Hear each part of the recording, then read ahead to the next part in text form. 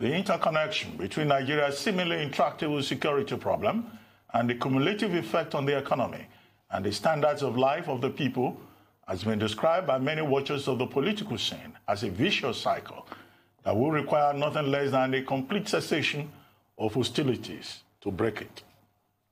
There also seems to be an unspoken understanding that even when that elusive peace is attained, for things to get better, they first have to get worse.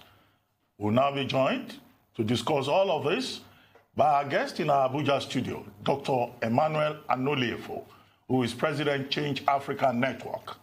He prefers to call himself a philosopher who has the mandate of God to provide the alternative development knowledge that will solve Africa's develop, uh, development crisis, beginning with Nigeria. And he has committed over 30 years to the pursuit of this mandate. He will also be talking about the tendency of African leaders to prioritize political capital over people friendly governance. Dr. Anoliefo, welcome to the program. Good morning, sir. Good morning. Thank you very much. Yes, Dr. Anoliefo, good to have you here. Good morning, sir. Yes, the effect of insecurity. It's my pleasure. Thank you. The effect of insecurity on economic growth. And just before you came on site, we had been discussing uh, Nigeria's economic growth and IMF's uh, projection that we may be down to a 2% growth rate, uh, which is uh, something that all of us uh, should worry about. But although IMF didn't cite insecurity, we know that, of course, there is uh, almost a causal connection between insecurity and the development process. What do you think is the big problem that we face in Nigeria? Is it leadership or, or just terrorism or external factors? Where do you think the real problem is? Uh, let me start by saying that uh, the first problem we have is the, the difficulty of understanding what is the problem. That is the, that's, the main, that's the first problem. We have difficulty in understanding what the real problem of our society and economy is. Because if you don't understand the problem, there's no way you can even understand how to address it. That is the main problem. If you recall, the issue, the, the issue of security is actually the, the consequence of the problem. It's the consequence of the failure of the economy. And the failure of the economy has been established since between 1999 and 2005. The IMF, the World Bank, they were all involved in this study. But I'm surprised that they are still talking about eh, the economy growing when actually we don't have an economy. Nigeria is a trading outpost. It's a, a, a market for global industry. Nigeria is not an economy. So when you begin to talk about Nigerian economy in the terms of growing or not growing and all of that, you miss the point. This issue was established in 1999 by the, that was the high point of the 1999 economic report on Africa. We adopted the wrong concept, and that concept is what we have continued to operate in this day. And there's a consensus between 1999 and 2005. There was a consensus that unless Africa adopts the alternative concept, there's no way we can make progress. Economic development is a design of God to sustain human beings on earth. It is guided by natural laws. There are no middle ground about it. It's either you understand it and then you walk in the light of what is right, or you, you don't understand it and then you, you, know, you go wrong. That's exactly what we are facing. The, the, the security crisis is essentially the outcome of the failure of the economy over the years. So that's the problem. We are, we are, we are not even addressing the economic problem. We are confusing economy with economics, where business is not the same thing as economy. Business is only the platform to put the product of the economy to the service of consumption. So we are not addressing the, the problem of the economy because we don't understand what the economy is. So that's the main problem. We need to understand this problem so we can address it. Uh, it's not a difficult thing to address the economic problem. So that's where the problem is. It's not about whether it's leadership or, or followership or otherwise. The problem is that the current education does not have any lesson on economy. So we have no idea what the economy is. We are just pursuing the, the economics agenda without understanding that where the problem is. So the first thing is for us to understand what the problem is so we can address it. It's a simple problem. We have virtually everything we need to address this problem. But we need to understand the problem. This is the critical issue. It doesn't look as if it's the problem, but it is the problem. Okay, doctor. Now, the concept that you started off speaking about was neo-colonialism, really, which of course we know is a serious problem across Africa today. So how do how do you propose we overcome that? And what I wanted to really get into you with is also just this idea of this coronavirus and having a reduction on oil prices and also insurgency fueling a lot of or having a detrimental effect on the economy right now and the effects that that is having. Now, the CBN are confident that we won't have to drop our foreign reserves or anything uh, until next year, or devalue our currency, sorry, until next year. However, with the way things are looking in the economy now, it looks as though we may have to devalue our currency sooner than that. Well, at least that's what a lot of economists currently think. What is your take on that? Do you think that we're going to experience a devaluation of our currency this year based on the economic shocks that we're facing? Or is this a problem that we're not going to have to face until next year, as is being proposed by the CBN, or even later? Now, now, now the issue is not about devaluing the currency. Once we run so, once there's a crisis in the, the, price, the uh, prices of crude oil, naturally we have to devalue the currency. But that's not the issue. The issue is how, how do we get the economy on the right track? We need to restructure the, we need to create the economy. That's the first thing. Because if you restructure the economy, if you devalue the currency without addressing the problem of the economy. There's no, you can't make progress. We have devalued the, economy, currency several times, and we have not made much progress. So the first thing is to understand what the, exactly is the problem. Then we can now work on the economy. Then if you devalue the, the currency, then you know you get an adjustment that can get the economy, uh, you know, up to uh, uh you know one step above the primary resource trap. So we can now begin to talk about making gains from the devaluation. But if you don't do that, you, the first thing is to understand the economy, the, the problem. The problem is that the concept we are, we, uh, let me put it the way the 1999 Economy Report on Africa put it. I think it, it, it makes a better sense there. He said we have we, we, don't predicate economic growth on macroeconomic stabilization policies and infrastructures alone. That's the bottom line. The, the, the real capacity that grow economy is the human element and the system that converts human capital capacity to, the, to domestic products. So we need to understand the problem. The first step is understanding that, one, the development concept we, we are adopted from the onset and which we have continued to operate is fundamentally deficient. This issue was settled by the 1999 Economic Report on Africa. That's the first thing we understand. The second thing is that we have to access the alternative concept. Let me give you one simple example to, to make you understand the problem we are facing. Because so many people say it's leadership, others say it's infrastructure, others say it's, it's uh, roads, it's power, and all of that. These are, these, these are all the consequences of the problem. The United States was faced with the kind of problem we are facing in 1930s. They had everything, all the conventional capacities were all in the right shape. But they were not able to solve, to help America out of that problem until John Kennedy came up with the alternative concept. Then this concept was put to pro-national engagement. At the end of the discussion, a consensus was reached on the context of the new order. Then the government adopted it, and it got America out of depression.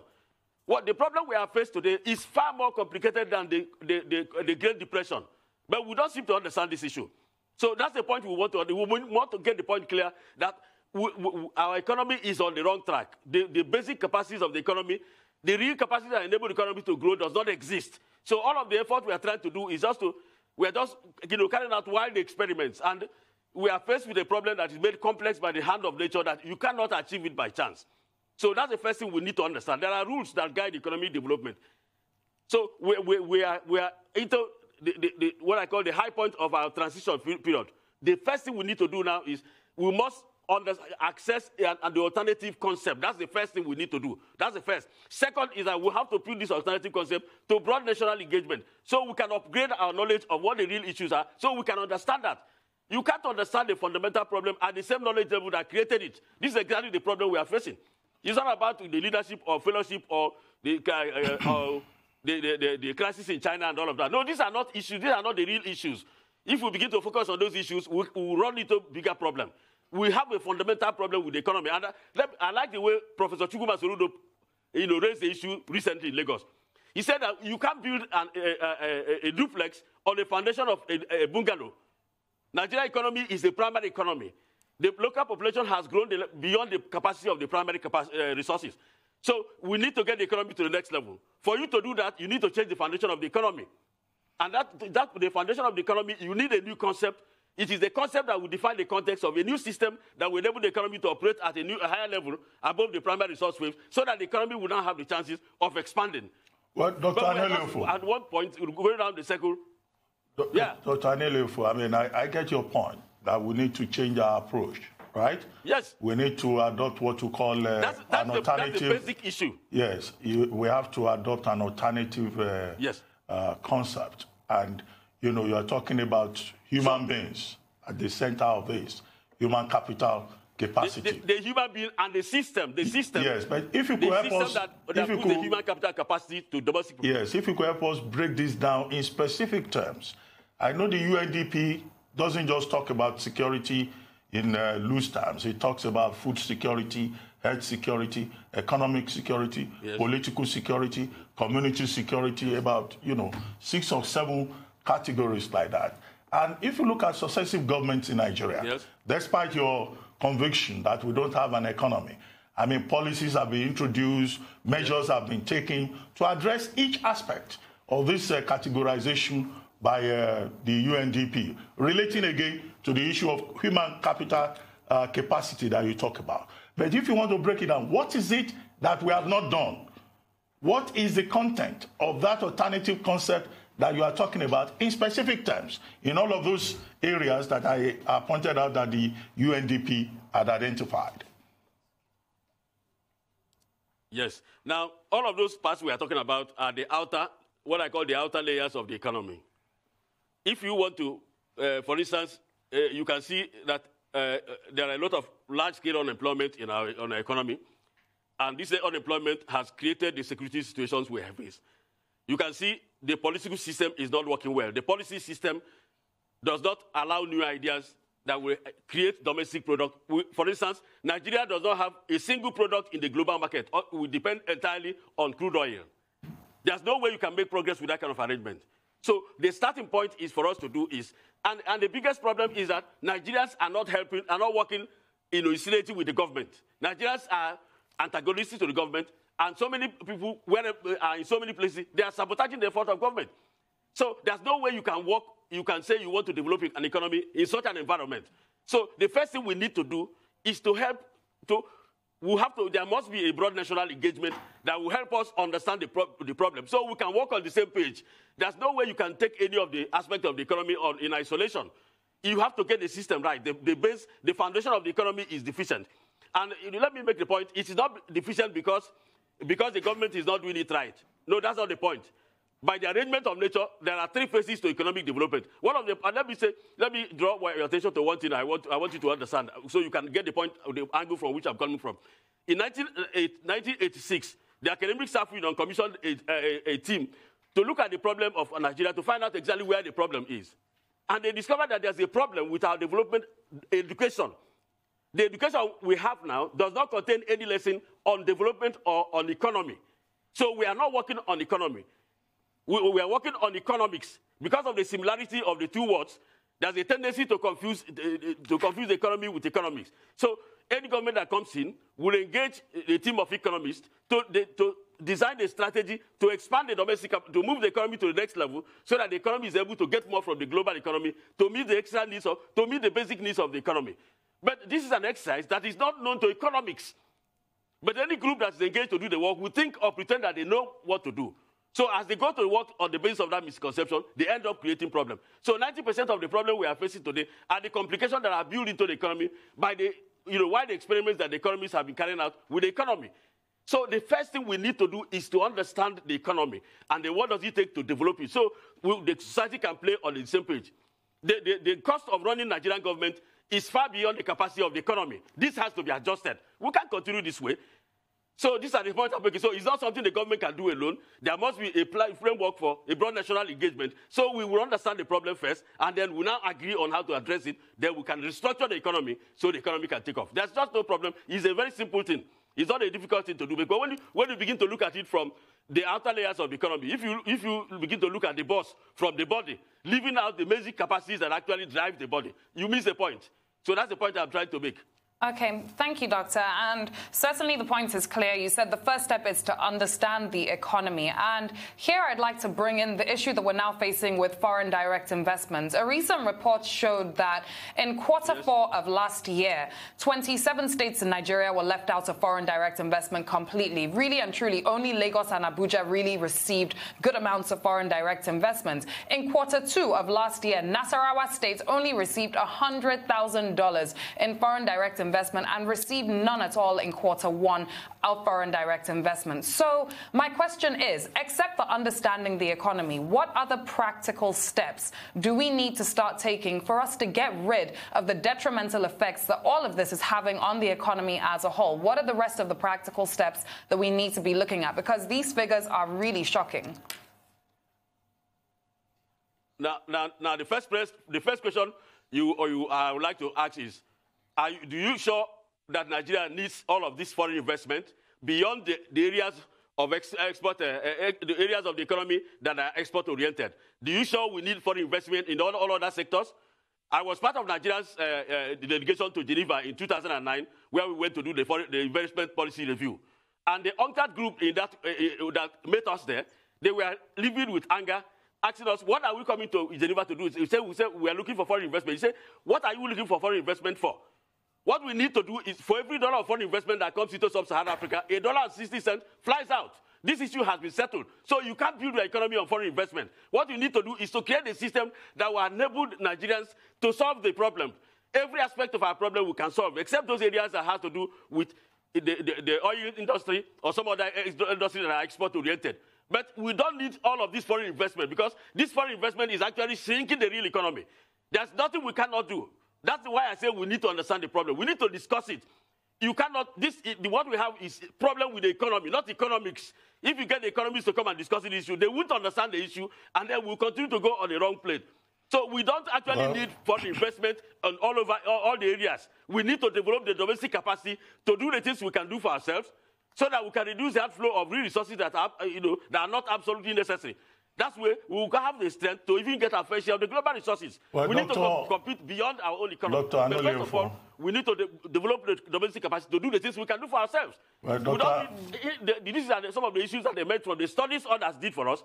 We don't need all these foreign investments. We need to develop our the, the problem in our society are tremendous opportunity for us to get the economy. Well, Dr. Uh, Anoliefo, we'll be, we'll be running this up, just, you know, in a yeah. matter of uh, minutes, but I don't think many people even laymen will agree with you that, you know, an economy that wants to grow does not need uh, foreign, foreign investment. That would be some kind of island, uh, you know, isolationist approach mm -hmm. uh, to the uh, economic question. But, but, even but, big Ruben, economies, Ruben, even big economies, Ruben, Ruben, invite, ask for investment. Ruben. Yes. Ruben, can, can, I ask you just a simple question? Yes. Okay. Are you aware that uh, on these studies I'm talking about, that the, the UNCTAD did a study on the impact of foreign investment in sub-Saharan Africa? Now, are, are, you aware of that study, or the outcome of that study? What does this the study say? what is the outcome? That you don't need that, foreign that direct investment. investment that comes into sub-Saharan, uh, for every dollar of foreign investment that comes into sub-Saharan Africa, that a dollar and six cents flies out. And that amounts to net transfer of real resources out of sub-Saharan Africa to the rest of the world. And the UNCTAD advised us to develop our own domestic, domestic capacity to do the things we can do for ourselves so that we are able to sustain a, a growth that can be sustainable. You can't build foreign investment if foreign investment are not charity. There are things that come in to take the things you have out of their, their, their, economy. You need to develop the capacity to do the things we can do for ourselves. And we can do so many things. The only thing is that the ministries and those who are in control of the policy process do not allow new ideas to come in. That's anyway, what the problem is. Dr. And they know they can't do some... Dr. Anoliefo, well, I mean, uh, you know, thank you. I'm sure some of the points you have raised would, uh, you know, generate debates and controversies. Certainly. Particularly also your point about broad national engagement. I don't imagine that in planning the economy, uh, it's a thing for you know, laymen and uh, all kinds of uh, people. And there are existing platforms. The Nigerian Economic Society, the Nigerian Economic uh, Summit, and all kinds of annual events. We even have an economic advisory council, council. recently set up by the president. We have the, uh, you know, the uh, body, the National Economic uh, Council, that is chaired by uh, the vice president. So it's not as if all these issues are, you know, rocket science. Yeah. Uh, but you know, you are a philosopher. So you, your economic philosophy may be different from what we know. But thank you very much thank for, for coming to us, the morning Doctor. show. Thank you very much indeed.